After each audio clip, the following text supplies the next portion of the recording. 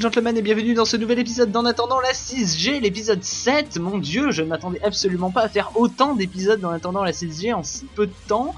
Euh, surtout quand on considère que l'épisode 3 est sorti il y a moins de deux semaines et que j'en suis déjà au 7 quoi, donc euh, les révélations euh, s'enchaînent et se multiplient avant la sortie de Pokémon X et Pokémon Y. Nous sommes à peu près à moins d'une semaine du grand lancement et euh, l'excitation est à son paroxysme. Voilà, voilà. Et euh, dans toute cette agitation est sorti, enfin a été diffusé au Japon le long métrage de 2 heures. Alors long métrage de 2 heures, moi je crie bullshit, hein. j'ai calculé, il fait 1h31, donc euh, bon, avec le générique de fin compris, hein, et générique de début aussi d'ailleurs, donc 1h31 euh, vendu comme un film de 2 heures, euh, c'est moyen. Enfin bref. donc il est sorti au Japon sous forme de film de 2 heures et va bientôt sortir dans le courant du mois prochain aux États-Unis et en France probablement aussi, doublé mais, mais, mais, mais, vous imaginez bien que sur internet il existe ce qu'on appelle des sous-titreurs professionnels, enfin professionnels, non c'est pas leur profession, mais ils excellent dans ce qu'ils font, et ils savent le faire vite et ils savent le faire bien, et du coup en fait euh, samedi il y avait déjà une version en euh, japonaise sous-titrée anglais de Pokémon The Origins, et euh, je me suis surpris à cliquer dessus, et donc j'ai regardé. Donc voilà, j'ai vu Pokémon The Origins, en plus avec les dialogues originaux, donc voilà. Il n'y a pas euh, un comité de censure américain qui est passé et qui a enlevé des choses comme euh, le massacre de Yu-Gi-Oh! ou le massacre même de Pokémon. Hein. Il y a des choses qui ont été enlevées dans la... Il y a des choses qui ont été censurées dans l'anime Pokémon. Et donc voilà. Donc j'ai vu Pokémon The Origins. Et, et, on va en parler parce qu'il faut en parler parce que c'est comme, comme, on dit un événement. Alors allons-y. Pokémon The Origins. Euh, le scénar, c'est quoi? Le scénar de Pokémon The Origins, euh, bah c'est Pokémon version bleue, ou Pokémon version rouge, ou Pokémon version verte, enfin bref, ou même Pokémon version jaune à la rigueur. Non, pas jaune, parce que dans Pokémon version jaune, il y a Jesse et James de Team Rocket, et tu commences avec un Pikachu, et c'est pas du tout ça. Non, donc c'est Pokémon version bleu, rouge ou verte, comme vous voulez. Euh, mais vraiment, c'est exactement ça c'est le, début, c'est le professeur Shen qui apparaît de nulle part et qui t'explique, euh, voilà, les Pokémon sont des créatures, euh, machin, il te montre un exemple. Euh, beaucoup de personnes utilisent les Pokémon comme compagnie, d'autres s'en servent pour se battre. Enfin bref, je sais plus exactement ce que c'est le, le discours du professeur Shen au début des jeux Pokémon bleu, rouge ou vert, mais là c'est exactement le même. Ils en sont arrivés à ce stade-là. Euh, bon, bah on va commencer euh, donc la, la, la, critique. Enfin, j'avais déjà, j'ai déjà commencé là en fait. Hein. Euh, D'un point de vue animation, c'est magnifique. L'animation est fluide. Le, les, les trucs, c'est beau. Il y, a des, il y a des effets d'animation. Il y a, il y a des trucs en 3D des temps en temps qui se déplacent dans un décor 2D. Ce qui est un petit peu ce qu'essaye de faire l'animation euh, l'animation japonaise euh, depuis un petit moment déjà. Par exemple, quand t'as un, un camion qui va à toute vitesse dans une rue, eh ben, le camion est, en 3D et le, village, enfin la rue, est en 2D et ça fait un peu bizarre. Mais euh, bon, pour ceux qui regardent des animés souvent, euh, c'est... je sais pas, en 2008 ils faisaient déjà ça, donc c'est pas choquant. donc au niveau de l'animation, ça va, il y a aucun problème. Au niveau des personnages, bah c'est pas compliqué, il y en a 3. Voilà, hein. Allez, 4, soyons gentils. 5 si on pousse vraiment à fond le truc. Allez, il y a 5 personnages importants dans l'histoire. Euh, que sont donc Red, son rival qui s'appelle Green dans la version japonaise, parce que le rival s'appelle Green chez les japonais et Blue chez les chez les, bah, chez les Américains et chez les Français. Et d'ailleurs, euh, il y a un moment où euh, il va y avoir un problème pour le, doublage, puisqu'il y a une ligne qui nécessite que Green s'appelle Green et pas Blue. Mais bon, c'est pas euh, on verra comment ils s'en sortent. Je ne, je ne dévoile rien, j'essaye de faire un truc spoiler free, les gars. Donc sans spoiler. Euh, donc au niveau, au niveau des personnages, il y a Red, il y a Green, il y a le professeur Shen, euh, il y a même pas sa mère, je crois qu'on voit même pas sa mère, ou alors 30 secondes. Oui, au tout début on voit sa mère, mais donc elle compte pas. Euh, il y a Monsieur Fuji, euh, donc le gars de l'avant-ville, qui est prisonnier en haut de la tour, et une fille qui travaille pour Monsieur Fuji. Voilà. Et, et ça fait 5. Et voilà. Et à part ça, il n'y a pas de personnage important. Si, il y a Pierre Oh mon dieu, j'allais oublier Pierre. Si, si, il y a Pierre. Oui, oui, bien sûr, Pierre et Giovanni. Oh mon dieu, oui, oui, donc ça va. Ça va, des personnages, il y en a suffisamment. Allez, 7. Euh, oui, comment j'ai pu oublier Pierre et Giovanni, bordel. Bref. Euh, au niveau histoire, bah, c'est les jeux. Mais alors, au niveau cinématographique, c'est-à-dire au niveau euh, de mettre tout ça ensemble, euh, homogénéiser le tout, donc euh, les personnages, l'animation, l'histoire, tout ça. C'est affreux, c'est immonde, c'est innommable, c'est impossible, c'est nul. je, suis désolé d'être aussi violent. Non, alors, ah, comment expliquer ça? Le film est divisé en quatre parties. Euh, J'avais dit que le- les, États-Unis allaient, euh, allaient non, pas diffuser le film de deux heures, qui en, en fait en fait qu'une heure et demie, euh, donc en une fois. Ils allaient pas le faire comme ça, ils allaient diffuser le truc coupé en quatre. Alors je me suis dit, oui, encore faut-il que on puisse le couper en quatre parties grosso modo à peu près égales, sans que ce soit choquant. Eh ben, ils auront même pas à se poser la question puisque le film est divisé en quatre parties extrêmement distinctes, d'à peu près 21 minutes chacune. La partie 1 fait 20 minutes et 21 minutes et quelques, la partie 2 23 minutes et quelques, la partie 3 21 minutes et quelques, et la partie 4 27 minutes et quelques. Et en gros, quand on ajoute le truc, on en est à une heure et demie. Euh, à moins que je sois devenu très mauvais en calcul. Euh, 4 fois 21, ça fait 88. Euh, plus... euh, non, pardon. Qu'est-ce que je dis? 22. 4 fois 22, ça fait 88. Et donc quand on ajoute la dernière partie euh, qui fait non pas 22 minutes mais 27, euh, on doit ajouter 5. Donc 88 plus 5, euh, ça fait 92. Et 90 minutes, c'est 1h30, donc voilà. 1h32. Mais en arrondissant, en disant que les trois premières parties font 22 minutes euh, au lieu de 21, 23, 21. Voilà, j'ai fait une moyenne. Merde. On va pas chipoter pour quelques minutes Bon sang Euh, Par contre, quand on commence à me vendre un film de 2 heures euh, alors qu'il en fait une heure et demie, voilà quoi. Euh, donc, euh, où est-ce que j'en étais? J'en étais à dire que le film avait été divisé donc en quatre parties déjà au préalable, donc il n'y aura pas à se faire chier. La première partie géniale, elle est, elle est bien développée, elle prend son temps, elle, euh, je, vais, revenir un petit peu en détail après. Euh, elle prend son temps, elle est, elle est très confortable à regarder. Moi je me suis dit yes. La partie 2, bon déjà c'est un peu choquant parce que tu, passes de la, la, première partie se termine à, à Argenta. Donc euh, premier badge gagné. De toute façon, euh, c'est pas du spoil de dire qu'il a gagné son premier badge. Le, pitch du film, c'est le jeu. Donc euh, bon, voilà quoi, merde. C'est pas au niveau du scénario que vous allez avoir des surprises. hein. Euh, pas du tout, non, non. Ouais, il y a un truc qui arrive à la toute toute fin, qui est pas dans le jeu original, mais vous savez déjà ce que c'est parce que j'en ai déjà parlé dans l'épisode précédent d'En attendant à ses yeux. Euh, donc c'est pas au niveau du scénario qu'il y aura des problèmes, donc en fait je pense que je peux spoiler. Yes, mais du coup c'est beaucoup plus facile de parler de Pokémon Origins quand euh, je peux spoiler. Mais euh, bon, je vais y aller tout d'abord, grosso modo, large, en spoilant le moins possible. Donc à la fin de la première partie, il est à, Argentin, il a gagné son premier badge. La deuxième partie commence à l'avant-ville.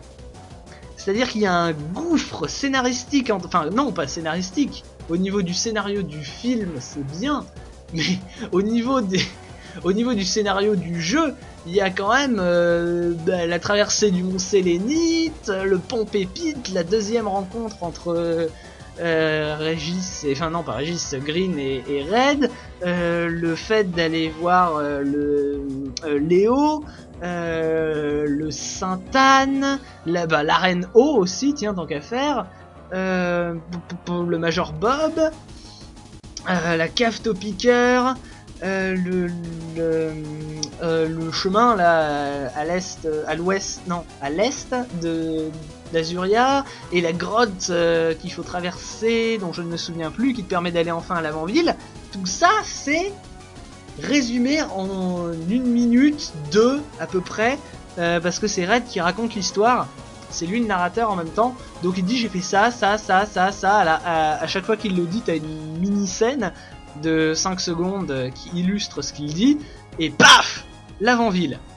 Toute la partie 2 se déroule à l'avant-ville.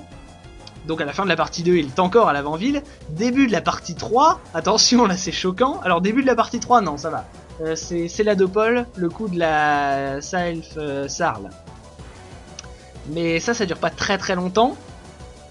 Juste, euh, bah, on le voit pas prendre d'assaut la Self Sarl du tout. On voit que la fin avec Giovanni.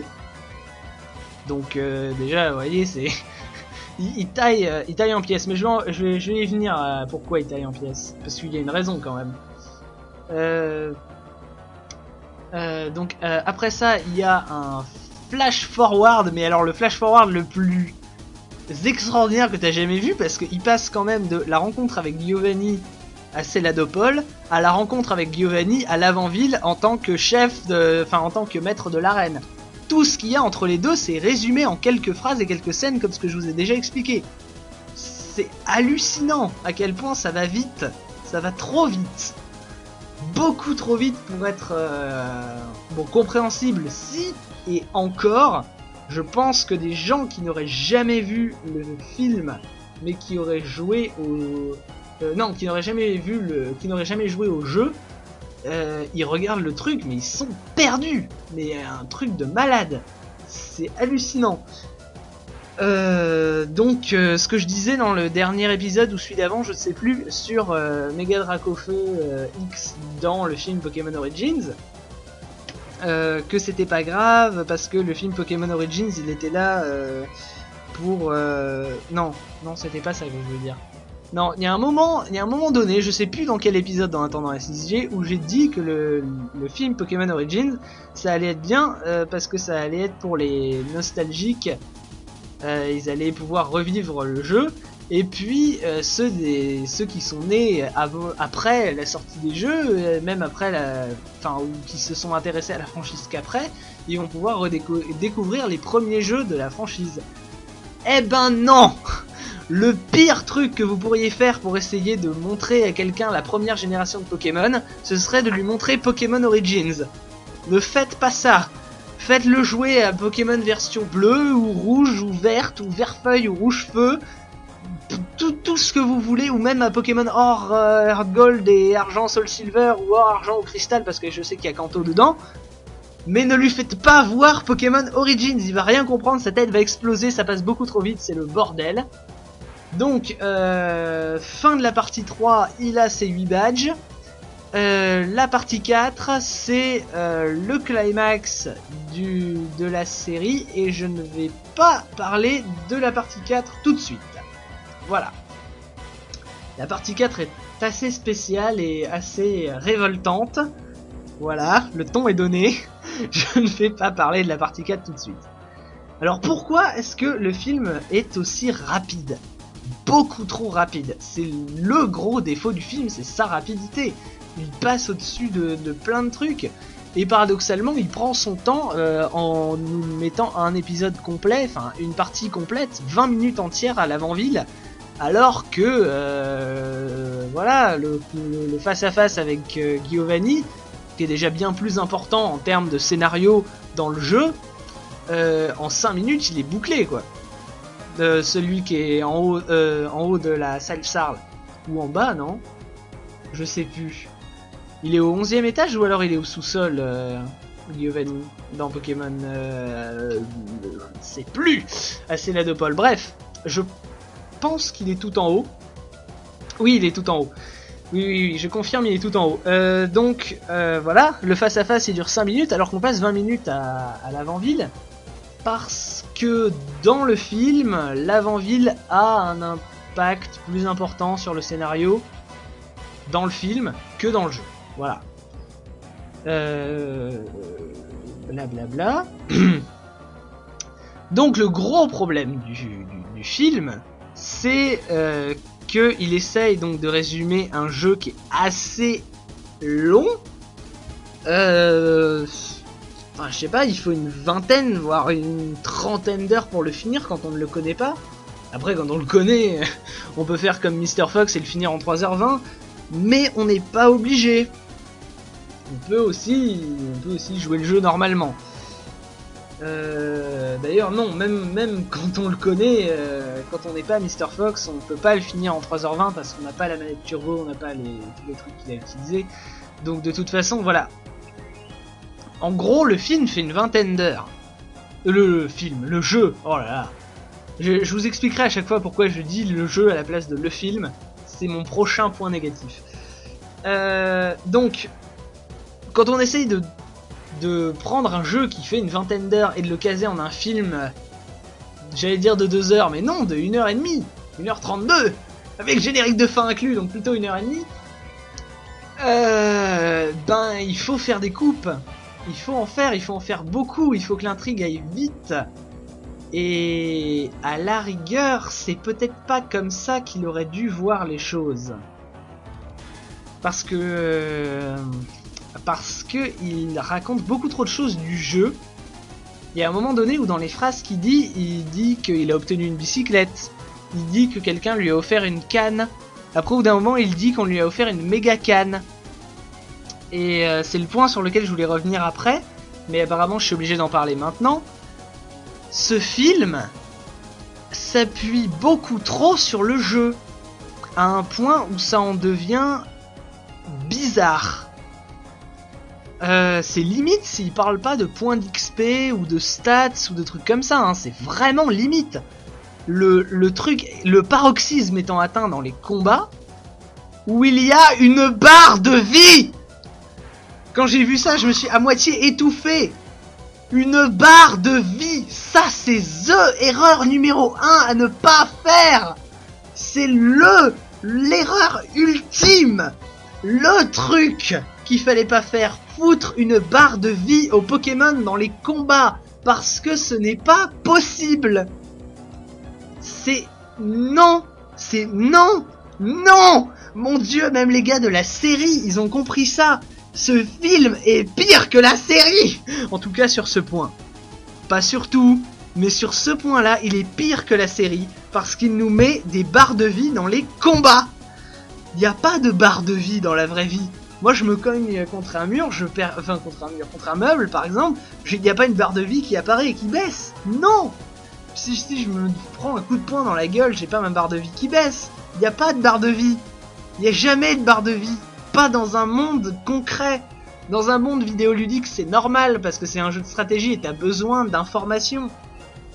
Mais non dans, dans un film où tu, es dans, le monde des Pokémon, où tu n'es pas dans le jeu Pokémon, eh ben, il n'y a pas de barre de vie, bordel Ah, Ça m'énerve Ça, c'est c'est la grosse erreur du film. Voilà, je l'ai dit. Le film, c'est pas un film, c'est Pokémon le jeu, mais mis euh, mis en long métrage quoi. Mais c'est Pokémon le jeu en fait, c'est pas Pokémon le film. Euh, c'est même pas un, film tiré du jeu, c'est le jeu. Et c'est ça le problème, c'est pour ça que j'arrête pas de confondre et de dire le jeu à la place du film et que je fais des phrases incompréhensibles depuis le début de cette, euh, critique. C'est parce que le film et le jeu ne sont pas déliés, il y a un problème d'adaptation. S'il nous raconte qu'il a gagné un vélo, qu'il a gagné une canne à pêche, qu'il a gagné... La canne à pêche ne sert à rien Dans tout le film, elle ne sert à rien De temps en temps, on voit des séquences où il pêche en réfléchissant. Il y en a deux comme ça. Deux Et il y en a qu'une qui sert à quelque chose. Et encore, elle sert pas à grand chose. Et encore, Il pourrait ne pas avoir la canne à pêche et quand même trouver ce sur quoi il réfléchissait. Donc, on s'en fout, si vous voulez. C'est pas important. C'est pas important, mais il en parle quand même. Pourquoi il en parle quand même? Parce que c'est dans le jeu. Et pourquoi est-ce qu'il va en parler? Enfin, pourquoi pourquoi est-ce qu'il évoque le fait que ce soit dans le jeu? Parce que ce film est fait pour plaire aux gens qui ont fait, qui ont joué au jeu. Et c'est, c'est ça le but. Et c'est pour ça que j'ai pas détesté. Je précise. Non, parce que c'est vrai, depuis tout à l'heure, là, je, je fais une critique assez négative. Le seul point positif que j'ai dit, c'est que l'animation était bien. non, non, non, non. J'ai bien aimé. J'ai aimé Pokémon euh, Origins. Je vous conseille même de le regarder. Mais il y a des problèmes. Il y a des problèmes évidents. Et il y a un moment donné où j'ai failli, euh, où j'ai failli m'étouffer. Et c'est le moment où j'ai découvert qu'il y avait des barres de vie dans le combat. Euh, pas tous. D'ailleurs, les combats, euh, les combats dans la nature, on va dire, enfin les combats contre des dresseurs pourris dont on se contrebranle, genre, genre, voilà, gamin, gamin de Joey, on voilà. Lui, on s'en fout. Il n'y a pas de barre de vie. Mais euh, tous les combats importants, comme les combats d'arène, là il y en a. Et sachant que ce film se concentre principalement sur les combats importants, je crois qu'il n'y a que deux matchs Pokémon dans lesquels il n'y a pas de, il y a pas de combat. Euh, il n'y a pas de, qu'est-ce que je dis? Il n'y a pas de barre de vie. Enfin, en gros, il n'y a que deux combats euh, dans la nature. Évidemment, il faut se concentrer sur les combats importants puisque euh, on résume un jeu de, de 20 heures en une heure et demie. Donc voilà, ça c'est un, gros problème, c'est du coup rien n'est, enfin les, les, éléments du jeu sont beaucoup trop omniprésents dans le dans le film, à un point où ça en devient choquant et où j'ai pas l'impression de regarder l'histoire d'un gamin qui parcourt le monde avec ses Pokémon pour essayer de devenir maître Pokémon, encore que c'est même pas son but à la base, et ça j'y reviendrai peut-être juste après, pourquoi pas. Euh, c'est même pas donc l'histoire d'un gamin qui veut devenir le meilleur euh, maître Pokémon du monde, c'est l'histoire d'un gamin qui joue à Pokémon et donc veut devenir le meilleur dresseur du monde. Euh, je vous avais dit que le film était divisé en quatre parties. C'est vraiment distinct. J'avais en plus euh, insisté sur le fait que c'était distinct. Et c'est vrai, c'est distinct. Il y a une, il y a une scène de transition, donc pour signifier la fin d'une partie et le début d'une nouvelle. Et c'est vraiment le terme partie en termes de partie de jeu, puisque le truc qui permet de faire la transition, et j'ai rien contre ça en fait, je trouve que c'est plutôt une bonne idée, mais ça renforce le truc, ça renforce l'impression qu'on a de voir quelqu'un jouer à Pokémon plutôt qu'une histoire qui se déroule dans le monde de Pokémon. C'est euh, que donc la transition, euh, c'est Red qui sauvegarde sa partie. On a l'écran de sauvegarde qui s'affiche. Voulez-vous sauvegarder? Oui. Temps de latence. Red sauvegarde la partie. Fondu au noir défondu au noir. Donc là, c'est le début de la nouvelle, fin de la partie suivante. Et on n'est pas dans l'histoire, on est sur l'écran du menu de, des jeux Pokémon Rouge et Pokémon Bleu. Avec donc euh, continuer, nouveau jeu et options. Et donc il clique sur continuer. Il y a un petit récapitulatif de son aventure avec, avec euh, donc le, nombre de badges, avec le nombre de Pokémon qu'il a capturé et son temps de jeu qui augmente au fur et à mesure. Hein. C'est pas un temps de jeu bidon, enfin c'est c'est un temps de jeu plausible, dirons-nous. Donc ils ont vraiment créé un temps de jeu. Enfin, merde Il appuie sur A et du coup ça commence euh, l'aventure. L'idée est bien. L'idée est sympa parce que c'est vrai que euh, le, c'est pour rappeler le jeu et tout. J'ai trouvé que c'était sympa comme transition, c'était plutôt une bonne idée. Et j'ai rien contre. Le seul problème, c'est que du coup ça renforce encore plus notre idée qu'on a de voir quelqu'un qui joue au jeu plutôt que de voir le jeu, enfin non pas de voir le jeu mais de, voir la réalité des Pokémon. Voir quelqu'un jouer à un jeu c'est pas la même chose que euh, être dans ce jeu et le vivre. c'est ça le problème. Voilà. Donc, euh, le jeu est omniprésent. Ça, c'est un des gros problèmes. Et l'autre problème, donc je disais, j'ai pas le temps de finir, c'est que le jeu est beaucoup trop long. Le. Putain, mais qu'est-ce que je dis? Oh mon dieu, mais il aurait fallu que je prenne une petite feuille avec des notes, parce que là, oh mon dieu, les phrases que je dis n'ont absolument aucun sens. Euh, quoique si, en fait. Le jeu est beaucoup trop long par rapport au film, donc le film va beaucoup trop vite. Les combats vont beaucoup trop vite. Et c'est là qu'on en vient à la quatrième partie. La partie décevante. oh mon dieu. Euh, mais non, mais c'est même pas que la quatrième partie, c'est tout comme ça. Tout le film, dans tout le film, il n'y a pas un seul... Non, s'il y a un seul combat qui dure plus de 5 minutes. Un seul Et c'est le combat contre Pierre. Et c'est peut-être le combat le plus important de tout le film. C'est le combat contre Pierre. Euh, le premier combat contre Régis est assez important aussi, mais ils, sont tous les deux dans la première partie, et c'est pour ça que la première partie est la meilleure, je pense. Parce qu'elle prend son temps.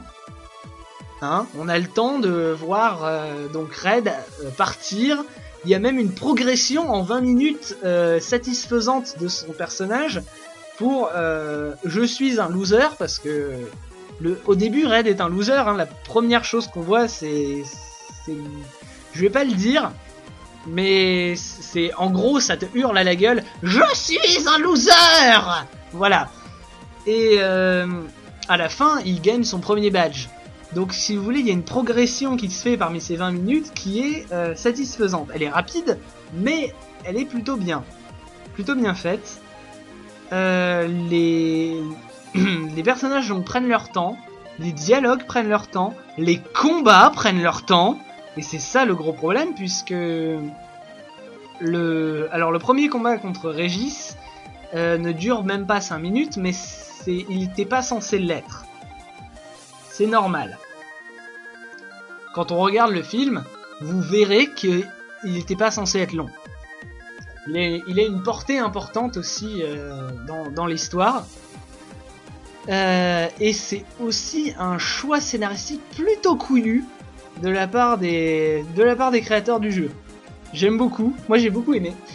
Et après donc il y a le combat contre Pierre qui est qui réveille vraiment, enfin c'est ça qui fait la transition vraiment du raid euh, qui est plutôt qui est plutôt bon et qui comprend pas enfin plutôt bon à Pokémon sans vraiment comprendre pourquoi à Red qui comprend la clé qui lui permettra de maîtriser au maximum le potentiel de ses Pokémon. Et, euh, et donc ça, c'est bien. La, première partie est vraiment géniale pour ça. Euh, limite, limite, il faudrait regarder que ça, mais vraiment limite. Hein, euh, la suite aussi, elle est bien. Mais la, la, première partie est donc la plus jouissive. Et vous avez peut-être compris un truc implicite dans ce que j'ai dit, mais quand je disais que seul le combat contre Pierre durait plus de 5 minutes, ça veut dire que seul le combat contre Pierre durait plus de 5 minutes. Je vous rappelle qu'au début de la partie 4, il y a le climax, le combat que tout le monde attendait, que tout le monde voulait voir. En, en... limite, on aurait pu se contenter que de ça, d'un court métrage de 20 minutes qui montre juste le climax final de Red contre Blue, ou de Red contre Green plutôt. C'est tout ce qu'on voulait voir, c'est tout ce qu'on demandait. On voulait Tortank contre Dracofeu, un climax de des retournements de situation à n'en plus pouvoir, de l'animation géniale, et, c'est torché en moins de 5 minutes. Moins de 4 même. 5 minutes après la première partie, donc au, début de chaque partie, il y a un, petit récapitulatif de tout, ce qu'ils ont passé, euh, tous les éléments du jeu qu'ils ont passé euh, dans, le, dans, le, film, donc ils n'ont pas pu placer. Donc par exemple, là il y a le Conseil des 4, on ne voit pas le Conseil des Quatre dans, euh, dans le film. ils en parlent juste comme ça. Et 5 minutes après le début, donc 5 minutes, y compris ce petit paragraphe introductif là, le combat est déjà fini Mais merde Merde Non C'est ça, c'est pas possible. C'est une déception totale. C'est des gros trolls en fait chez Nintendo, mais c'est pas possible. T'attends ça depuis euh, une heure, un peu plus même, et... C'était... C'était décevant. Alors, c'est 5 minutes intenses, on est d'accord. Mais franchement, les gars, oh les gars, c'est pas, mais c'est pour faire plaisir aux fanboys que vous faites ce film. Alors faites ce que les fanboys demandent, merde. Beaucoup trop rapide et euh, surtout pour ce qui est pour, ce qui se passe après. Euh, le but de Red n'est pas de devenir le plus grand dresseur Pokémon de tous les temps si vous voulez. c'est presque drôle à dire, mais c'est ça. C'est un dommage collatéral. C'est un, un, effet qui se coule. Oh tiens, oui, au fait, en passant, euh, en faisant ce que je voulais faire. Ouais, ok, bon, d'accord. Il y, a, il y a ça. Je suis devenu le plus grand dresseur Pokémon du monde. Ah, oups. J'ai même pas fait... Il a même pas fait exprès, quoi, à la limite. Voilà. Euh, non, le but de Red, c'est de remplir le Pokédex c'est d'avoir les 149 Pokémon. Euh, je dis 149, évidemment moi je sais qu'il y en a 151, c'est eux dans le film qui savent pas. Ils en, pensent 149. Et toute la fin du film est consacrée à la traque du 150e, du 150e, 150e Pokémon, qui est donc Mewtwo, pour ceux qui ne sauraient pas. Euh, ce qui est plutôt bon, c'est c'est sympa de voir ça. Euh, Red qui donc se documente, cherche, euh, réfléchit, euh, c'est quasiment une enquête en fait, pour essayer de, trouver l'endroit où se trouve Mew, tout. Quoique non en fait, même pas. Ou même pour se préparer, enfin bref. Le, le but c'est de trouver Mewtwo. Et c'est pas à ce moment-là, je m'en étais rendu compte beaucoup plus tôt, je m'en étais rendu compte à la partie 2. C'est là que je me suis rendu compte que ce film en fait, c'est tout ce que la série aurait dû être. Si ce, si ce film était une série, ce serait une série géniale. Mais ça, je, déjà, je le savais même avant de regarder le film. Mais euh, ça a été confirmé dans la partie 2. La partie 2 passe donc 20 minutes entières à développer euh, le truc de l'avant-ville. Donc la tour, l'avant-ville, les fantômes, la mer d'Osley, tout ça. Euh, c'est vraiment... Voilà. D'ailleurs, à mon avis, c'est là qu'il y aura de la censure américaine, puisqu'on parle vraiment de la mort d'Osley. Alors on en parle dans les jeux aussi, donc c'est pour ça que je me dis que peut-être... Euh, mais à mon avis, non. À mon avis, la mère d'Osley ne sera pas morte, elle, sera envoyée dans le royaume des ombres. Voilà, sûrement, j'en sais rien. Quoique, je me demande vraiment comment ils vont faire parce qu'on la voit se faire dé... Enfin bref, on la voit se faire tirer dessus par le chasseur, donc je sais pas trop. Ils vont sûrement couper ça. J'ai aucun doute qu'ils vont réussir à faire ça. Enfin bref, c'est pas de ça que je voulais parler. ce que je voulais dire, c'était que donc il prenait son temps pour développer le, tout, tout ce qui se passe à l'avant-ville. Et du coup, la deuxième partie est plutôt bonne aussi, malgré le fait qu'il se passe pas grand chose euh, en termes du scénario du jeu il se passe des choses, même à peine en termes de scénario du film, il y a très peu de choses intéressantes. Il n'y a même pas de match entre Green et Red dans la tour l'avant-ville. Donc euh, voilà, euh, il se passe pas grand chose, mais c'est bien foutu. L'histoire, euh, l'histoire se tient, le, etc. Enfin bref, comment dire, si c'était un épisode de Pokémon, ce serait un épisode génial de Pokémon. Et c'est là que tu te rends compte qu'en fait, quand il prend son temps, c'est vraiment, ça, pourrait vraiment être des épisodes d'une série. De toute façon, Pokémon, ça, peut être des épisodes d'une série, et pas une série aussi à chier que celle qu'on a. Euh, même la saison 1 de Pokémon, c'est de la merde comparé à ce que pourrait être Pokémon la série si elle était faite comme ça. Même pas forcément au niveau de l'animation, mais au niveau de, du sérieux de la chose, au niveau du fait que ce film, voilà, ça y est, vous voulez un point positif? Ce film ne vous prend pas pour des gamins. Voilà. Euh, le premier match de euh, Régis, enfin de Régis de Green contre Red, il est, il est violent, il, est, il est traumatisant, il est dérangeant, voilà. Jamais vous n'aurez un épisode comme ça dans la série.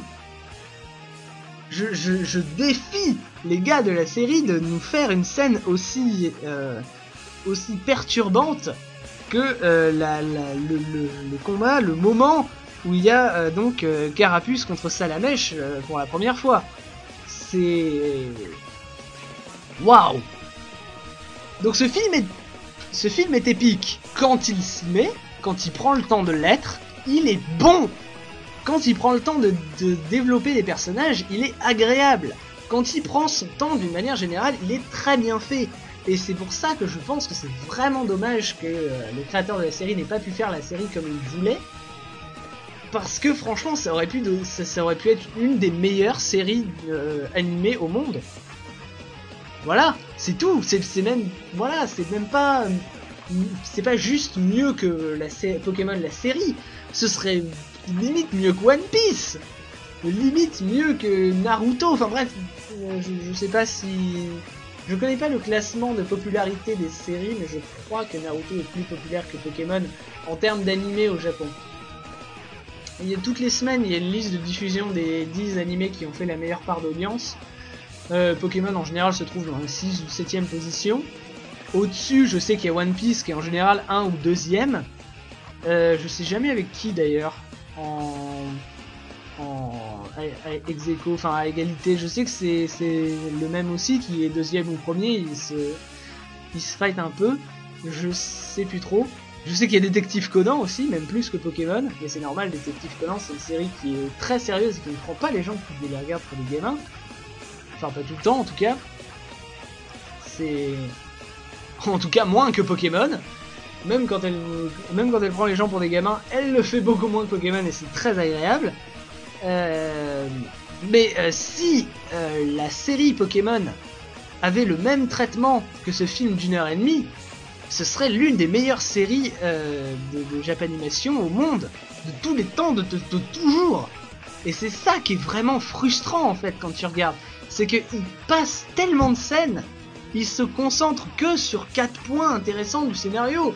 Le, match contre Pierre, la, tour Pokémon, le, match contre Giovanni et euh, le match contre Régis, c'est plutôt la track de Mewtwo, hein. Plutôt la track de Mewtwo. Et euh, et voilà. Et voilà. Alors que s'il faisait des épisodes de 20 minutes où il développait l'intrigue normalement, enfin, je vais arrêter de me répéter, je pense que vous avez compris maintenant, mais euh, c'est vraiment, vraiment... Euh, c'est À la limite, c'est même plus rageant de voir ce qu'aurait pu être la série Pokémon, mais de savoir que ce sera jamais le cas, plutôt que de, de ne jamais regarder Pokémon Origins et donc de, de, genre, de pas être au courant, de se dire bon, euh, Pokémon c'est le moins pire qu'on puisse avoir. Non C'est pas vrai La série actuelle, elle est, mauvaise, elle est chiante, elle est pour les gamins. Euh, tiens d'ailleurs, je voulais en parler c'est peut-être le moment euh, génial pour en parler. À la, euh, à la base, la série Pokémon était censée être Pokémon The Origins, ou Pokémon Origins, pardon, plutôt.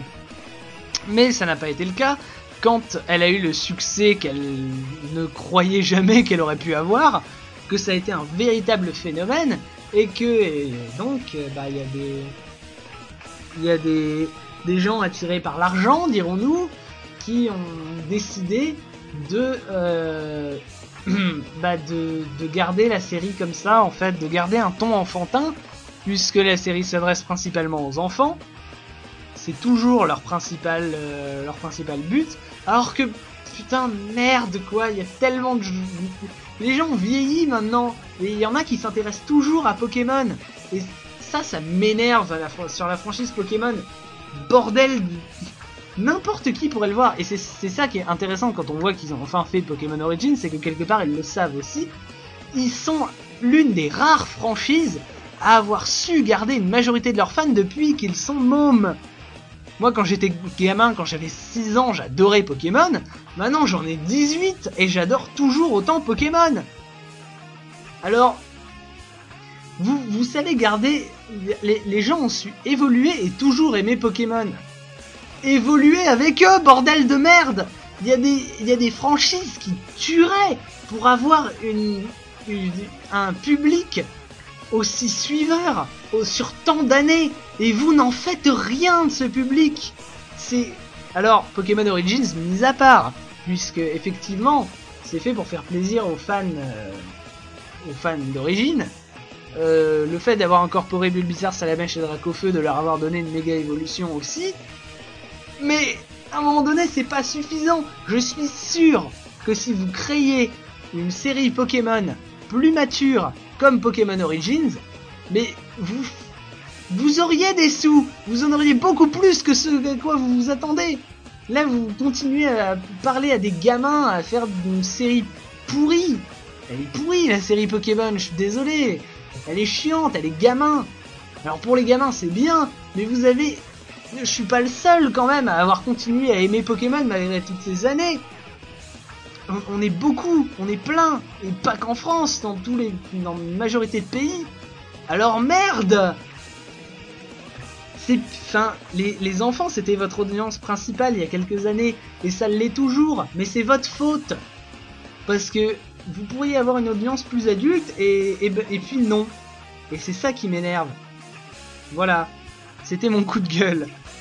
Mais euh, bon, apparemment, financièrement, c'est plus intéressant de s'adresser qu'aux gamins. Et donc, il a été décidé que Sacha aurait 10 ans toute sa vie, parce que les enfants de 10 ans, c'est à peu près, euh, à peu près la, la démographie que- qu'il cible. Ça a été décidé que ça garderait un ton enfantin toute sa vie, parce que les enfants de 10 ans sont la démographie, la démographie qu'ils euh, oh, ciblent. Et, et voilà. Et c'est décevant. Et je suis en train de m'étouffer là. Ça fait 40 minutes que je parle sans m'arrêter, je vais plus avoir de voix. Euh, J'avais un truc à dire pour finir, je crois. Euh, oui, Pokémon euh, Mega Dracofeu X. Euh, j'ai rien contre. Il est, il a été bien, bien amené. Euh, ils ont pris leur temps pour l'amener, donc d'une manière générale, tous, tout ce que cette série prend du temps à amener, eh bien, ça, ressort bien. Et donc Mega, Dracofeu ressort bien aussi. Et euh, on, sent un petit peu quand même que c'est une pub pour euh, Pokémon X et Y, mais c'est pas choquant, c'est pas violent, c'est pas voilà, ça passe. Euh, si les musiques, voilà de quoi je voulais parler. Les musiques sont géniales. Euh, c'est les musiques du jeu, mais reprises par un orchestre symphonique. Et, euh, du coup, ça rend bien, ça rend très très bien. Euh, notamment la musique de l'avant-ville d'ailleurs. La musique de l'avant-ville, reprise en. re- reprise comme ça de manière symphonique, ça passe très très bien. Euh, mais sinon, voilà, un, euh, le, le seul problème c'est que comme c'est les musiques du jeu, on a encore plus l'impression euh, d'être dans le jeu parce que quand il y a un combat qui commence, il y a la musique des combats qui commence avec le.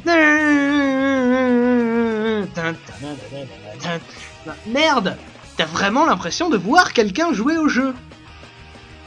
Donc, verdict.